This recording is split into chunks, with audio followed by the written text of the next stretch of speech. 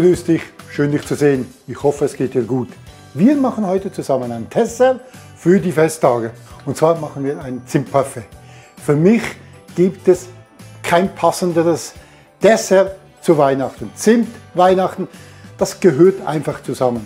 Und du wirst jetzt gleich sehen, das ist so schnell und so einfach zu machen und unheimlich lecker.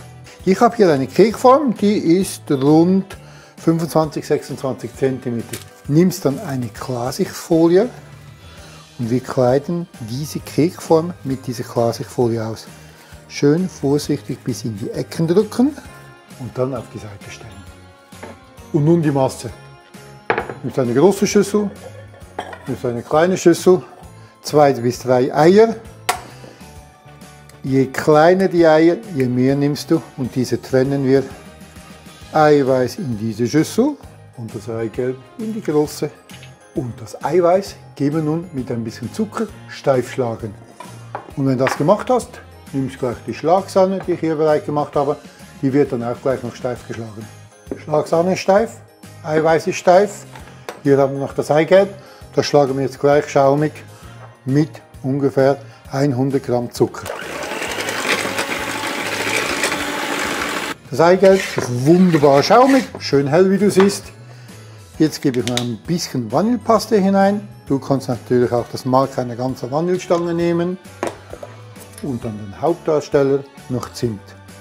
1 bis 2 Kaffeelöffel Zimt. Die Menge bestimmst du, je, je mehr du willst oder je stärker es sein soll. Nun von Hand gut heruntermischen. Muss nur noch gut heruntergemischt sein. Dann nehmen wir gleich die Schlagsahne, geben die Schlagsahne hier hinein in diese Masse. Vorsichtig herunterziehen, dass es schön luftig bleibt, gell? Wir wollen es nicht zerschlagen. Und dann gleich noch schnell das Eiweiß. Auch das Eiweiß schön vorsichtig herunterziehen. Dann nimmst du eine Auflaufform, die du vorhin bereit gemacht hast und gibst die ganze Masse hier in diese Auflaufform hinein. Schön vorsichtig. Nimmst einen Suppenlöffel und verstreichst es schön gerade hier drin. Das reicht schon. Ich nehme noch die restliche Folie, decke es ein bisschen zu hier. Das war's. Das ist die ganze Hexerei, bis dein Zimtparfait fertig ist. Für das Herstellen dieser Masse habe ich nicht mal 15 Minuten gebraucht. Wirklich sehr schnell hergestellt. Was aber jetzt kommt, ist der lange Part.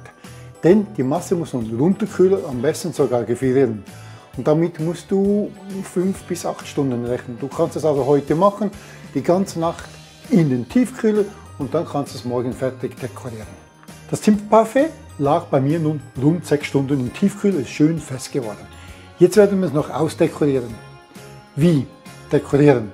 Du kannst jetzt hingehen, Streifen schneiden, auf den Teller anrichten mit irgendeinem Guss oder einem Schlee. Und wenn du acht Portionen machst, mindestens einer wird nicht schön und das nervt. Mich nervt es jedes Mal. Ich zeige dir jetzt kurz eine einfache Methode, die auch schön ist und die auch gut bei den Gästen ankommt, ohne großen Stress. Wie versprochen, wir dekorieren nun das Parfait fertig damit das nicht ein riesen Aufwand ist und trotzdem schön wird. Hier habe ich einen Teller, das gebe ich gleich das Parfait drauf. Hier das feste Parfait. Klopfen, Ö, kommt raus, siehst du. Vorsicht nehme ich es jetzt und gebe es jetzt hier auf den Teller. So, ja. Dann nehme ich geschlagene Sahne, habe ich hier einen Spritzbeutel gegeben mit einer Sterntülle und jetzt platziere ich hier Rosetten drauf soll ohne Halt durchgehen bis nach hinten. Äh, voilà. Siehst du das? Und das selbst sieht schon mal richtig schön aus. Siehst du, was ich hier habe? Das sind alte Weihnachtsgewäcke. Und die zerbrösel ich jetzt ein bisschen. Und von diesem Bröseln geben wir ein bisschen über die Sahne dicker sein, ein bisschen feiner sein. Voilà. Und das ist unsere einfache und doch, wie ich finde, schöne Dekoration von Zimtparfait. Und dieses Zimtparfait mit der Schlagsahne drauf, die sieht doch gut aus, oder? Die nehme ich jetzt wieder und stelle sie wieder in den Tiefkühler. Jetzt kann es wieder mit dem Schlagsahne gefrieren. Und am Abend, wenn das Dessert ist, kannst du entweder die ganze Platte nun auf den Tisch stellen, dann kann sich jeder so viel abschneiden, wie er möchte, oder du kannst es wie vorhin auch wieder die Stücke schneiden, gibst sie auf einen heller Teller, gibst ein bisschen Schokoladenpulver darüber und es sieht alles wunderschön aus. Vielen lieben Dank fürs Zusehen, viel Spaß beim Nachmachen, wir sehen uns demnächst. Ciao!